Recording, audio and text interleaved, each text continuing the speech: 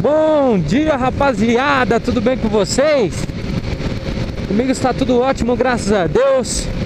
Estamos aqui, tá eu e meu brother Xandinho Alexandre.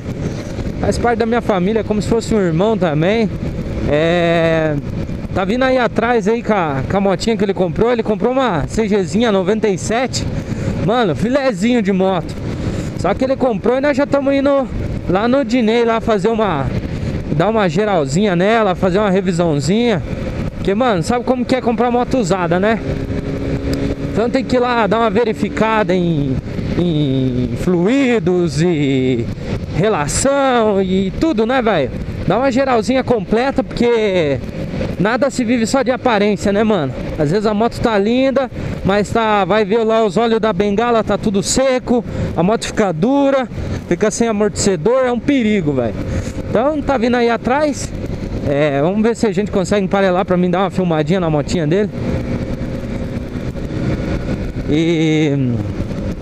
Mano, eu achei gringa a motinha dele. É, é uma CGzinha 97, mano, mas bem cuidadinha, entendeu? Se olhar ali, fica de cara, ó. Aí, ó, tô filmando. Ó, bonitinha pra caramba, mano. Entendeu? A moto é 97, você imagina? Uma moto 97 nesse estado aí. Tem moto 2012, 2014 que não, tem, não tá bem cuidadinha que nem essa aí. Então, mano, a gente tá indo lá no Dinei. A gente vai deixar, de repente até deixá-la lá pra fazer uma revisãozinha completa. Não sei como é que a gente vai fazer. Mas o Dinei aí é um brother de confiança. Às vezes, às vezes, a gente sai de longe, né, cara? É quase 20 quilômetros, se eu não me engano. É 18 ou 19 quilômetros da, da nossa região ali até a, a região da loja dele. E, mas é um cara de confiança, mano. Então assim, quando vocês comprar uma motinha, seja nova, nova não tem nem como, né, velho? Mas faça as revisões na concessionária. Mas uma motinha mais usadinha e tal, você vê que ela, é, independente dela, do estado que ela esteja, sempre leve numa revisão, coisa assim. É, troque já o óleo já de cara, você não sabe qual foi a última vez que o cara trocou.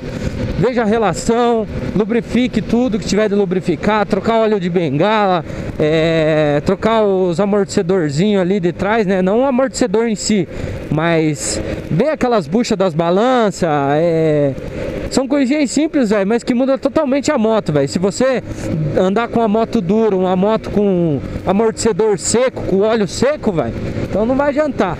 Aproveitar também para mandar um salve aí pro.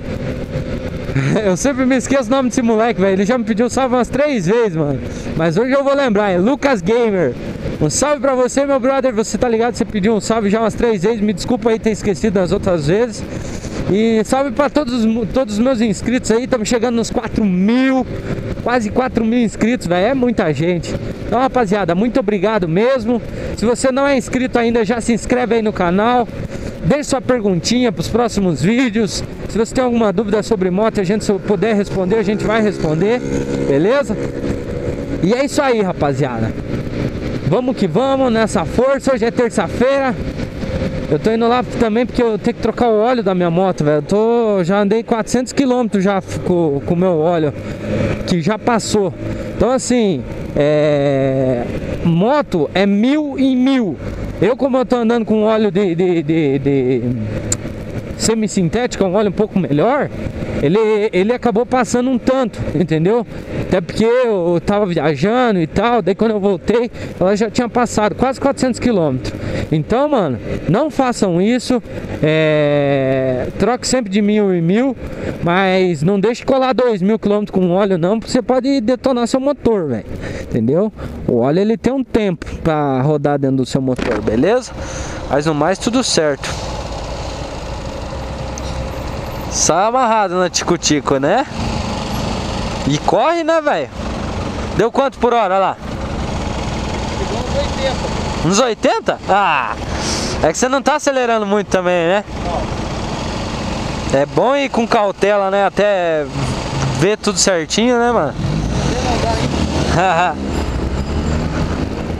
ah, BMW? Lindona essa, hein?